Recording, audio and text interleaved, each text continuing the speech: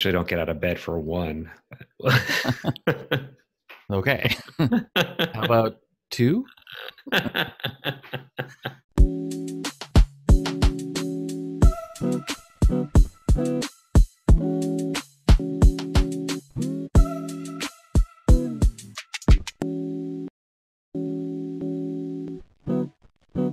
Actually, reading something by our close personal friend.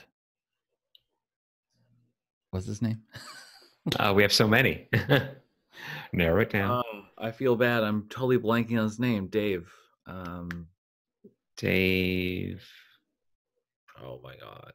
How do we know him? Everyone knows Dave. Dave, the guy from I IXDA. Yeah. Dave. Uh, oh. Oh man, I feel terrible. Like, Me too. Don't don't record this. Um. Yeah. This is the intro. Dave, uh, seven minutes of just us going, you know, you know, Dave, uh, and he's from Long Island, and I can't. I'm blanking on his last name. uh design ops stuff and Beard, beard, dark hair. Yeah. loves Detroit style pizza. Yeah. Hang on. Oh goodness. This is terrible. We're such bad friends. What is his last name? Malouf. Whew. Malouf. There we go. Whoa. Thank you. Ah, yeah. Sorry, Dave. Well, well it'll, be- it'll just be us going, Dave, and then technical difficulties. Malouf. there we go. there it is. Malouf. There it is. Anyway, so I was reading something by Dave Malouf earlier today about his frustration with the adoption of design ops. And I'll just say thinking, not in the design thinking way, but Mm. like from a strategy perspective, right? And and part of his I don't want to say recrimination, but because apparently small words don't work in this case. Um, is that you know what he's seeing is people are like well how do we fit into agile again instead of being like okay this is really more about strategic thinking and planning and i think again the leap that is not being made either by the practitioners by enough practitioners i should say or by the business side is really not understanding or believing in or thinking about i don't know what it is it's probably a combination thereof the the value and and the business impact of and i and i say these with lowercase letters design thinking like thinking from a design perspective. I'm still unsure about like what would cause broad adoption of it? The the post by dave which i can link to and i also saw an article about again can't remember his name but he's leaving ikea to start a design firm to teach people to lead with design and he his premise is design will supplant marketing. They'll sell themselves because they're so well designed. I don't think it really you'll you won't get rid of marketing but maybe marketing will be used for you know actual marketing rather than whatever it's used for today which is to gloss over how poorly designed things are. Within this topic of the business value of design work of design thinking again lowercase letters right now we can't talk about it enough basically I read that article, so I, I don't have an opinion on it. well go ahead and, and read that article now i'll wait Pause the film. cue music Now I, I'm still I still struggle with anything that has ops after it because I start to hear that and I kind of check out as like this is just another lingo land grab that someone has come up with. Um, yeah like how is design ops different from design thinking versus user centered design versus any of the other methods that we've been doing for you know 15 20 years? And there are nuances with design thinking i get that but at the end it's very much what we've been preaching for a long time. Right and and put, do, put the put the user at the center of the cycle iterate often test iterate explore you know the same. Right. The the challenge has been and, and continues to be, especially in the digital space. It's just so cheap to guess and hope you're right. mm-hmm. It's so cheap to not talk to people, yep just to build something and put it out there. that's always been the case like design ops isn't doing anything to remedy that, is it? I don't mean to poo-poo design ops or pick on it. No, yeah, I I don't I think I don't get the value that design ops is bringing. Yeah, i think conceptually that's what it wants to do. It's set up a the same with the whole research ops and you know setting up environments so that good design work can happen, right? And to me, that's not necessarily strategic stuff necessarily. No, it's not, but it's it's promoting the same environments that we've been promoting for a long time, just with a new name, which is cool. You know, if, and if if the new name helps it gain traction, that's great for everyone. I'm not going to deny that. Uh, I have a hard time getting behind the terminology just as a new term, just for the sake of Yeah. it being new. But all for it. Go Dave. Go Design Ops. I don't. I think until we uh, stop talking about, I don't. Is this wrong to say? Stop talking about design and start talking about business. We're not going to have as much of an impact. And I feel like all of these things that keep coming up over time design ops, design thinking in my experience, it has to come from the top regardless. So, again, think about business, and the business has to want it versus the practitioners see a need for it. It's more for larger organizations that they are just on their path, they've been doing it one way, things are generally okay. Right. We're making money. Why would we mess with that? Right. I was just talking to a friend last week about this. He's doing work with a, a large organization and they just have no concept of any of these things. But now they're getting competition. And I was telling like, well, that's something that can instigate a change in process and culture is Right. competition. Because a lot of companies, they're just keep on keeping on and they don't even realize what they don't know because they've been doing it the same way for 10, 15 years. And I'm talking about from a design standpoint, a, a UX standpoint. Yeah. And until someone comes in and shows them a different way, that's one step. But then you have to show them why it matters and why they should be doing it differently because someone's going to take them over. Someone's taking their money. Usually it comes down to money. Right. Whether it's competition is finally coming along into a space that you've dominated for a while, or I think the other side of of money that personally I wish more people would talk about is the money that gets wasted Mhm. because a process or a product or a service is not as efficient, effective as it could be, right? Yep, I agree. The, the hidden costs. the hidden costs, which are are easy to unhide if you go looking for them, right? right. Do you have any examples of this? I I have an example did just come to mind, actually.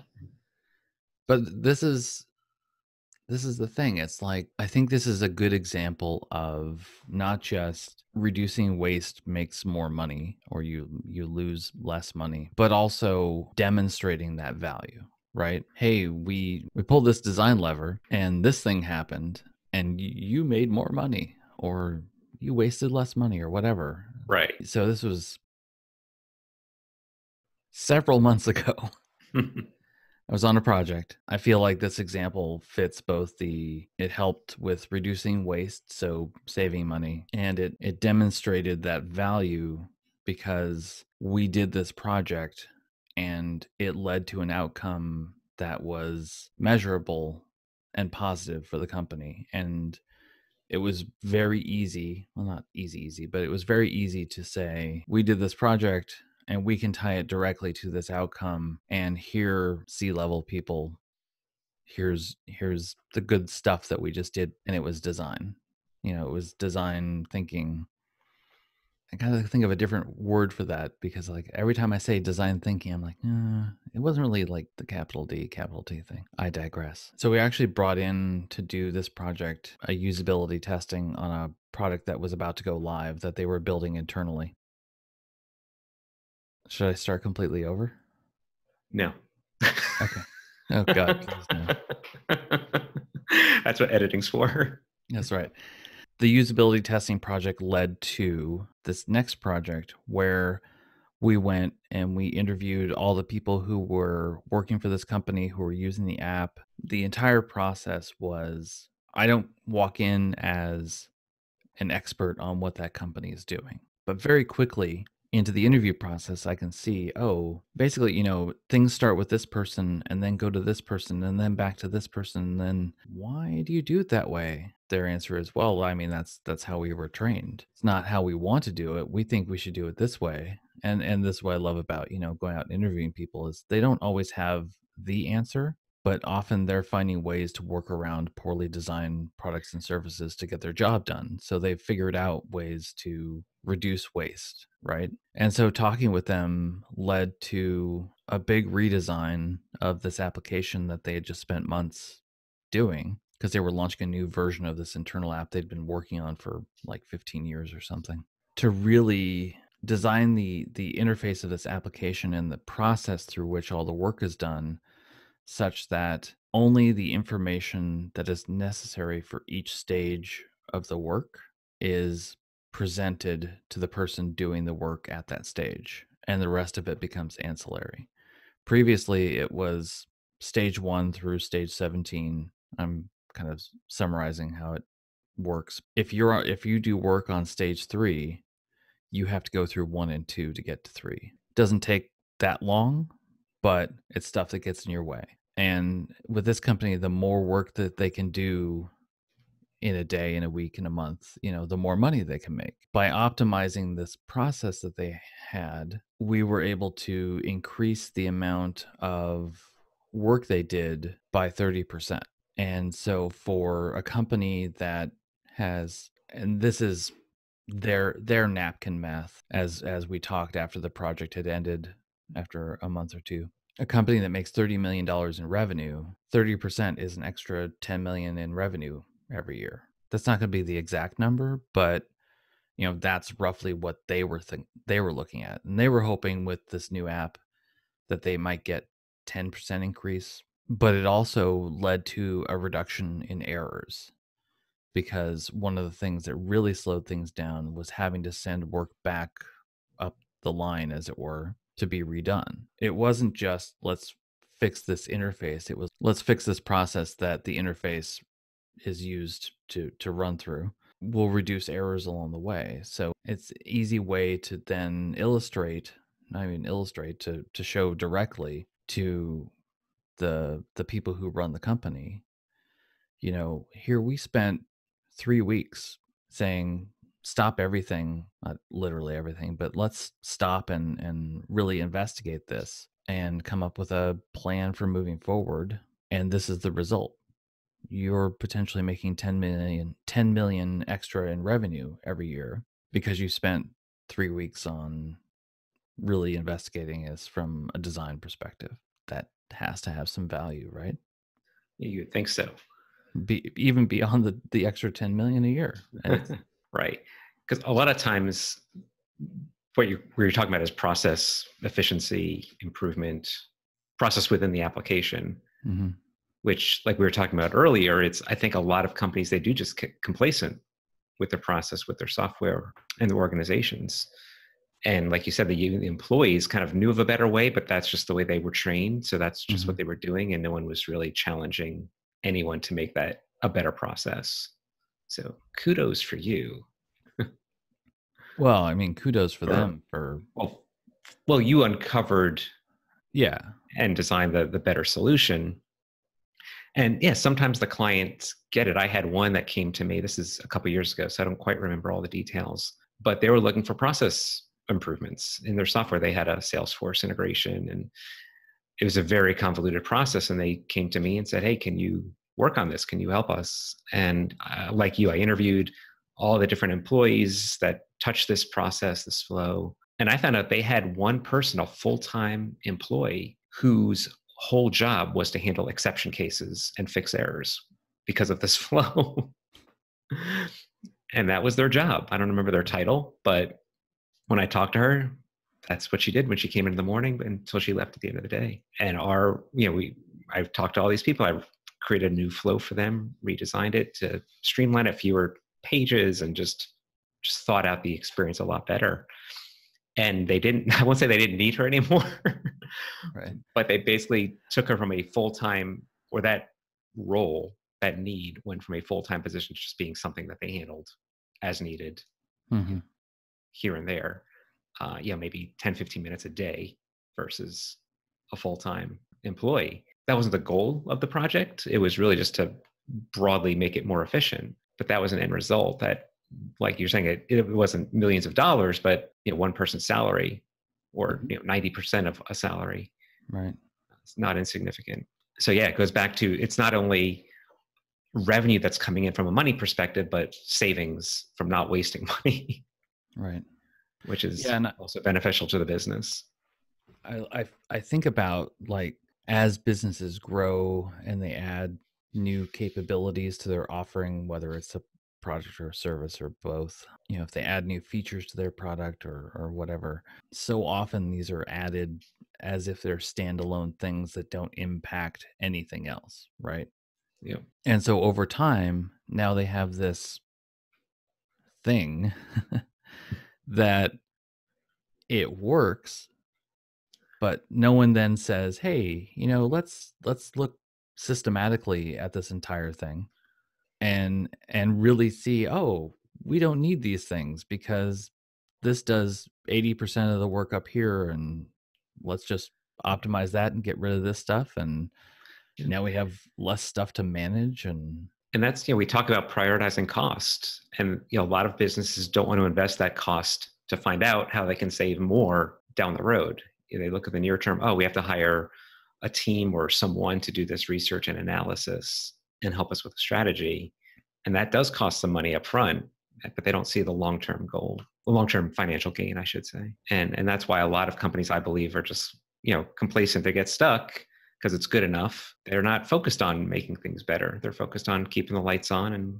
keeping things churning. So, what have been some ways that you've been able to show that value beyond the the example that you just gave that I just gave to get people to even start thinking about this? To just kind of scratch that surface is doing evaluations, like site evaluations um, or app whatever it is evaluation say you know here's some areas that i see opportunities for improvement. Let's go talk to some users and you just kind of build a case that way. It's hard without knowing their business really well to show financial gains theoretical future gains because you're not quite sure but usually a savvy business person can start to extrapolate all right well i see this this is going to make this more efficient and kind of the domino effect. So i feel like it's a conversation on selling research in general and what are good ways to do that? You, know, you and i've done a lot of work around discovery workshops where we kind of just go in and we just start sharing ideas and gathering information from the business and saying okay there's opportunities here based on just what we've heard in this 1st mm-hmm. meeting. And so it's really getting them to think about things beyond the day to day yeah it's been the same for me, almost always starting the conversation at that high level is not going to resonate. The metaphor I, I rely on for this is it's really difficult for people to get past the fire du jour. Mm-hmm. And if you can get them past that, then then you can have that conversation of, oh, well, this got on fire because of these decisions you either made or didn't make way upstream. Let's talk about how we can fix that. It's getting them to just stop, like you said, like stop focusing on the fires and start thinking about ways that, you know, there are opportunities to make things better and they just have to stop mm-hmm. and open their eyes sometimes and be open minded because like i said when they're in that churn and there's just day to day putting out fires and do today what we did yesterday because it's working those are the hardest people to get through to because they're just not focused on improvements yeah so that's that's usually my way into those conversations is that doing some evaluation or or even potentially some research that's somewhat generative if if they're at that level of maturity within the organization. At its core is just getting out and talking to people right? Not completely randomly not you know intercepts on the street of hey do you use my product? Let's talk. There's anything wrong with that but you know having a plan and going out and talking to people and then bringing that information back and really thinking about it and then maybe going out and talking to more people. I was just talking to a customer of mine a few weeks ago, I guess. I did some research for them. They were telling me how they were meeting with their partners, um, business partners, and some of their higher level stakeholders, and they were having some tough conversations about changes to the app, changes to their strategy. They basically used my research as ammunition to justify the changes that they were making. And so they were really excited because they could take all those quotes that we gathered from talking to people like you were saying, because those seem to resonate a lot with those people in the, the big offices. And when they were challenging the design team, they could say, well, we talked to people and here's what we heard. Mm-hmm. And this is actual feedback from from users. Like I said, that was ammunition that was critical and useful for them to to get their ideas through. So Yeah. a little bit different context from starting from scratch, but just the idea of you get those, like you said, talking to people on the street, randoms, even if you have to, anything that can kind of help lead some credibility to you know the changes that you're advocating for. Excuse me. Do you have a pulse? Do you have time to give me feedback on well, it's about to get higher. That's right. One way or the other. You're either going to get very happy or very angry. that that voice of the customer really does resonate with the people in the big offices like you say. What I find I'll say interesting is that then doesn't make them say or a lot a lot of them, not all of them obviously, but it doesn't make a lot of them say, "Oh, we should be doing this more often." and more of it. And then I and then it makes me think of the the companies that don't do it at all, right. right? That have a CEO or someone who say, and I, I've said this before, but I think of one particular case where the CEO was very fond of saying, Well, I've thought this through. The people doing the research say, Well, here's, you know, the voice of the customer says this. And the CEO is like, Well, that may be fine, but I've thought it through, so we're going to do it my way. That company ended up getting bought by another company because the second company said, Hey, that's a very pretty application you've got that does some amazing things, we think. And they spent, you know, a few million dollars buying the company and then attempting to integrate it into their own systems. And it was so poorly put together and so poorly thought through that they had to scrap it all. Mm-hmm. and get rid of the people that they had brought over. And it was just, I don't know how many millions of dollars were wasted. Many is is my guess. If that CEO had just been open to listening to what the customers were saying, that might have had a better outcome for both companies. Yeah, for sure. I'm sure the CEO got his exit and did pretty well, but it's not that's not the kind of exit that I would want No. personally. We don't look fondly upon it. I do not and never have. and when I see him at the cafes, I'm like, "You sir." When you see him at the cafe, you say, "I'll have a tall latte," That's right. because he's working there. Right. That's because he's working there. Yeah, no, no, he he probably owns the place. yeah, bastard. Well, and you know, and that's that's kind of the thing. It's like this ends up working out for a handful of people. That's And a strategy for so- some people. I know. And so it's like, well, what's the incentive? I just made, you know, 10 million dollars exiting this company that I sold that I didn't talk to a single user. And not that that is the norm, but everyone acts like it is the norm. It's weird. People Right. people are weird. That's my new business plan. What's your new business plan? Uh, create a crappy application and get bought. Not that that's a new idea, but Sold. I love it. I'll buy it. win-win. Fastest exit ever. Beautiful. I'll- I will pay you to stop that idea. That's right. So I think what we're saying is, Matt, if I may summarize, Mm, please. is leave your office and go talk to people. That should be the tagline of this whole Yes. Just please go talk to people. Go talk to people. Yeah. Don't lead them, but you know, Don't delete them. don't no, don't lead them. You oh, know, Oh, don't lead them. Yes. the the back of my mind fears when I say go talk to people is, you know, they're like, oh, okay, hey, if I made an app that made your life better, would that make your life Oh. better? Oh, it would. Okay, I'll make that. I think that's a whole nother episode for our show. yeah, how to actually talk to people you know, for people like ourselves, we sometimes need a refresher. for sure It's a skill. Skills are meant to be practiced. So that's right. Come on. exactly. All right. Well, let's call it. All right. Good chat. Good chat. See you next time. Peace out, y'all. All right. Good show, people. Good show.